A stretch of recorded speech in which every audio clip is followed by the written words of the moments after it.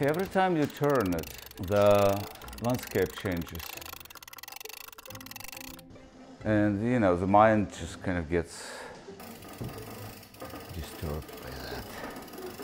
You know, you have emotional connection to the landscape. I do anyway.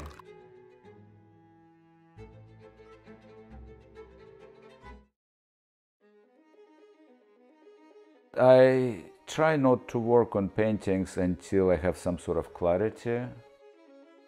I think one day I usually come into the studio and I know where to go with it. It might be my own contrarian nature, but I, um, I don't really want to know. And I don't really want to talk about it because it kills the joy for me.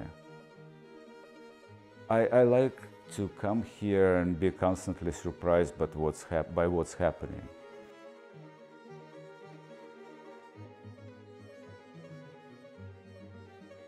I don't know why I am happy functioning in these amorphous, chaotic situations more so than structured situations. Maybe it has to do with where I came from, where I was born and raised. I was more aware of art because my parents had a nice large uh, art books library. So I would just, I wasn't allowed to touch any of them, but of course I did. Most of the models worked for me for many years. Their bodies is like diaries of their life. You know, all the good habits, bad habits, traumatic events, happy events.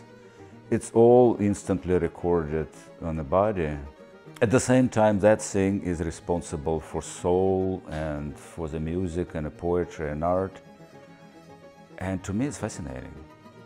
Um, so you want to look at it because there it all is contained in that. But how it's connected is not clear.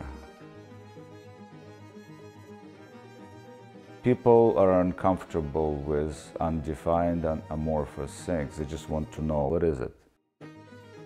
Sometimes I try to leave things rough, and somebody always invariably yells at me. I think there is some truth in unpolished images because though it's not clear, it's quite alive that way.